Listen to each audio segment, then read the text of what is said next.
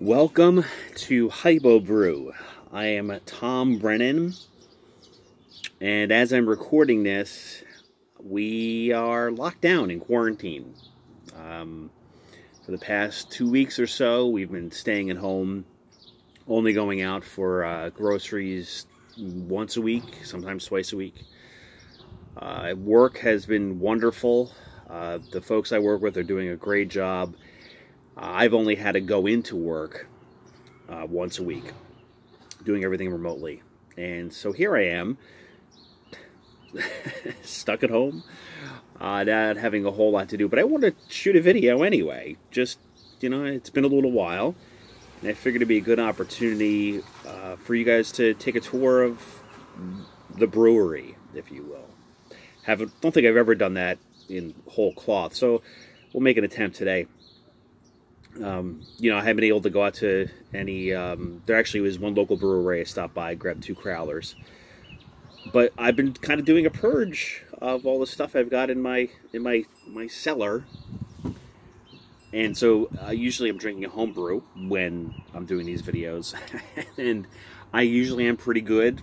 I gotta say with labeling things. Usually it's just a little notch on a cap, but as you can clearly tell here, no, nothing.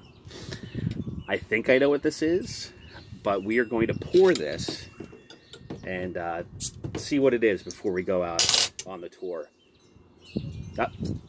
I know exactly what it is. All right, so this is um, a fruit cake barley wine. Yep, that's exactly what it is. It's hitting me already. If you guys are on YouTube, which you are, uh, you check out YouTube videos this was inspired by the guys at Basic Brewing years ago, and every, I guess it would be every summer or fall, I would brew a beer inspired by the uh, fruitcake barley wine recipe. And so what I did this year, and I've been making tweaks every year, and I think I really nailed it this year. Uh, I did the recipe, and rather than using US-05 for the Chico strain, what I've been doing is putting in, I put the Kveik in, the um, Horndal. Horndal. Uh, so that's what this is. Um, it's got a fruity bouquet in it, fruity nose. Um, there's there's definitely some spice in there. And one of the things that the, the Horndal yeast strain did, it kind of added, and, and we had a homebrew club meeting where I brought in two beers that used Horndal and somebody else brought in a beer or two that had Horndal in it. Horndal, Horndal. And one thing we noticed, it kind of added to everything. It added kind of a, almost like an orange peel, citrus peel kind of flavor. And for this beer, was perfect. I have since ditched the Horndal strain, with one exception, and I'll show you that in a little while. Um, but yeah, so that's exactly what this is. This also clocks in somewhere I want to say it's somewhere near 10%. So, and it's only, um, I think it's only 3 o'clock, a little bit after 3 o'clock my time. So, we'll see how the night goes.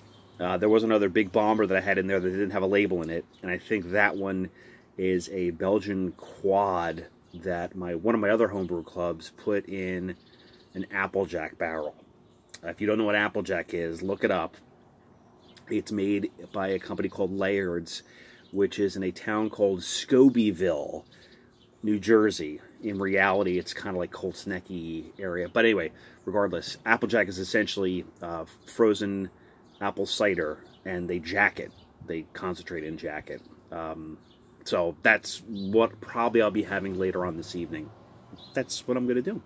I also found that I had um, a venison steak that a friend had given me. And so that's what's for dinner because I can't go out to the store and buy any kind of protein. So that's what we're going to do later on. But before that, we are going to take uh, a look at the brewery. And first, you know it's coming, baby. We got to listen to the ska.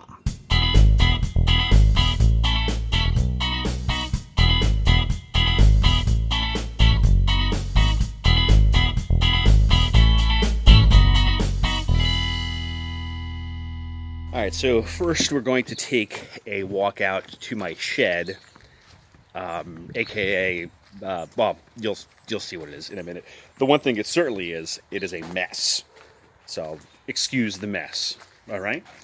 When you first walk in, this is uh, what you're struck with. I mean, aside from the mess, this is my fermentation chamber that I had set up. If you if you uh, have watched my uh, Keezer video, this is actually the exact same uh, freezer, chest freezer that I used for the the Keezer video. But what I did was I made some adjustments. If you could see here, I actually have a larger piece of lumber in here, and I'll show you why I had that in a minute. And because of the larger piece of lumber, and I also have it on wheels, if you can see the wheels down there, just so I can move it around a little bit if I have to. So let's open this up. And the reason why I have a larger collar on here is because it will allow me to have not one, but two fermenters in at the same time. And what I've done is made a little, a little rickety shelf there. And so what I can do is I can put two fermenters on here, and that will allow me, because the two fermenters without the collar won't work. Uh, so I'm putting the collar in there, it gives me the increased height, so then I can close I can close this uh, lid and not have to worry about things. What I also did as well when I was doing this, because uh, I knew I'd be lifting, you know, uh, what are we talking about? 40 pounds? 40 pounds? 8 pounds per gallon of, uh, of beer at a time. What I did was actually just made a very rudimentary little gate here so I can get myself in there and pull it out without having to straight it over this additional six inches. That's what she said. So I've been binging the I've been binging The Office. In case you haven't, in case you didn't couldn't tell. All right. What I do have is uh, I have a little Inkbird probe here, which goes to the Inkbird, uh, an old, very old Inkbird controller. Works like a champ though. And then I have that set up right there with a fan. This is slightly different than if you've watched my fermentation chamber video, uh, but it is still the same controller, I have to say. What I also did too is I picked up a, a tilt hydrometer, and if you are looking at this temperature and you're saying to yourself, what the hell is going on here? What I have is in here is a Saison, and it was kind of an accidental Saison, but I'll tell you about that in a minute. So what, what this it does, this uh, my phone here is hooked up to a, uh, a tilt hydrometer, which is in the fermenter, and then that pings back information to a cloud spreadsheet that I can then look at and see the temperature remotely. This uh, gravity reading is actually incorrect. I am now at an adjusted gravity of 1004. Uh, so I have to look through uh, some more instructions on that. Perhaps if you guys are interested, comment below if you want to hear, if you want to see about my tilt hydrometer uh, maybe I'll do a review or something like that. So what happened was that with... There we go, I'll do it this way. What happened was uh, that I had intentions on pitching uh, some lager yeast, and I did pitch some lager yeast on a Pilsner and Saaz uh, beer uh, that I brewed up, and I waited two or three days, and it wasn't fermenting. And I had chilled it down to the right temperature, pitched it at the right temperature, and it just wasn't going anywhere. So, in a bit of a panic, I pitched Saison yeast in there, and it tore through the beer and fermented it all out in two days, three days, which is really pretty impressive. Uh, so I'm going to let it hold at 80 for a little while longer, and then see where we go from there. I'm going to take a look real quick here at my uh, my my hop storage,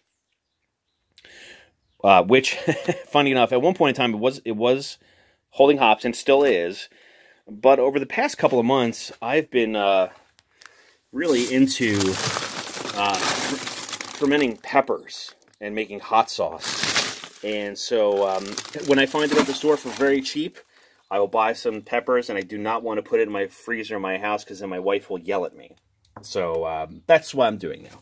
Because yeah, I do I do hoard and I do buy it. One of the things you can tell is that I'm hoarding is I have hops. I probably have I don't know. Actually, this is a good day. I usually have I don't know 12 pounds of hops in here, and I don't really drink hoppy beers. I don't really make hoppy beers, so I don't know why it's like that, but it is. Now, if you remember, I talked about the Horndal yeast. What I did was uh, this is a couple weeks ago. I figured I'd put this in the hottest point in the house, and the hottest part of my house is right next to my um, my boiler, and I just have a a mead sitting there, 13 pounds. I think it's 13 pounds of honey. I put in this six gallon batch, and it's now been sitting now for a number of weeks. I made a starter with this just to kind of get the horns all going, and the starter mead was awesome. So we're going to see maybe at some point in time while I'm hanging out doing nothing in here, I am going to uh, bottle this and see what happens. If some good comes of it, perhaps I'll make a quick video just to show you how it turned out. Now into the, uh, I guess it would be the storage area of uh, of the the brew house. Remember earlier I mentioned about fermenting um, um, peppers. So this is this is what I use an old ball jar. Airlock is there. A grommet for my um, lid there. That's how you ferment peppers. It's actually pretty easy. Grain storage here with some Omega lids. That one obviously empty. What I do is I keep my uh, random buckets in this cabinet that I have here. There's my Chapman fermenter there. I have, for the most part, um, gotten rid of and not having to use any of my plastic buckets anymore. If I want to do a small batch, I've got two uh, fermenters right there. I also have up here a, uh, a Dutch oven, which I use for sourdough bread cooking, and uh, it's game changer. If you do sourdough, uh, that is a game changer for sure, getting a Dutch oven. Got kegs here, uh, some leftover kegs. I also have a uh, CO2 in case I run out. Over here, I have something out of focus. There we go. I have storage for all my bottles, which have become less and less over the years. And then uh, grain mill up there. And then in here, I really have most of most everything else I'm going to need. I do keep my specialty grain in bags and then put them in the food storage containers, mostly broken out like caramel malt there. I've got my, you know, um, uh, base malty, like Vienna malt, that kind of stuff, uh, in these containers. There's a bag of wheat malt. Uh, random lids. What I also do too is I have my, here's my uh, brew sheets. This is for the Saaz um, brew day that I had. I also keep, uh, let's see if I can do this here. Also keep, and actually got for Christmas an Anvil scale, which now I'm weighing my water, which uh, has become very handy because water will always weigh the same, although the volume will change. Uh, Star San, sanitizer, PBW, uh, those types of random things. I hang on to all my fermenting stuff in here. And uh, just some random tubes. There's my mash tun, um, my hot liquor tank. Oh, you know what I want to show you guys? this was something I, I, I found earlier, and I have stopped using it. But um, it's kind of funny that this is what really got me started uh, home brewing and showing it on YouTube. Is this wort chiller? That's the this is the wort chiller from that video that you probably have all seen. Uh, it has developed. Ooh, there you go. It has developed a little bit of a hole, if you can't tell. So that is no longer in use. I wonder if I could recycle that. Anyway, just figured I'd show you that for fun because you've you've all probably seen that. One thing I'm actually a little proud of, not I'm showing things off. This is my um, my bottle capper. I found it on Craigslist for like 20 bucks, and uh, it's really pretty cool. It's very you know it is ornate. It works awesome, and it gets the job done when I'm not putting stuff in a keg. So uh, I love this thing. It's really pretty cool. And here we are, um, back outside. The very quick tour. I didn't want to show you my Keezer for a couple of reasons. Uh, one is that I have I just posted up a video for the Keezer. Number two, um, my wife and one of my kids is playing the new Animal Crossing game, and I did not want to disturb them, especially because if I started doing my hypo brew voice, uh, they would all laugh at me and ruin the video. That's got to speak the truth, man. Um, you know, one thing I did want to encourage you all to do was, especially if we're all kind of hanging out and you know, doing our thing, um, is just to um, just to be cool to one another. You know, um, it can get really weird out there, and you know, people buying toilet paper and you know, by the, the truckload for some reason. Um, so sorry for that commentary. Just kind of went off on a tangent there. What I did want to say was this past Monday, I was on a, a homebrew club meeting using the virtual platform, and let me tell you something. It was really kind of cool to talk beer with people at a homebrew club meeting, even though it was virtual, because we're all just you know, let's talk about rhizomes when you know just just talking about beer. And I think that that's something that you kind of miss when you buy yourself, especially if you have someone who you're at home with who doesn't appreciate beer for one reason or another. Um, you know, so it's a good opportunity to kind of get out, even though you're not really getting out. And uh, I found that that was really pretty uh, pretty cool to do. So if you have an opportunity to to do that, I don't know if those things are free or not. They could be free, but you know, use some kind of platform to to have a meeting of sorts because um, it, it it helps. You know, um, talking about things, even if it's not you know the the the the item of the day it helps to talk about things, especially talk about things that you enjoy. And if you're watching this video, you enjoy beer, you enjoy home brew beer, so it's always an opportunity to, to uh, you know chat about stuff. If you guys want me to answer any questions you have, uh, any additional questions about quote the brewery, uh, feel free to drop a comment down below, um, and we'll see what happens. Um, for now, I'm going to finish drinking this um, 9 or 10% uh, barley wine and hopefully just kind of hang out and eat my steak. Maybe I'll make some baked potatoes or something.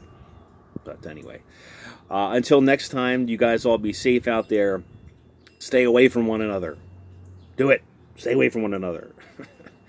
and see if you could join up virtually with some folks and just have a good time to talk about beer because I think it's important. And quite honestly, even though this is a very short video, uh, this has helped me because I'm talking about beer with you guys.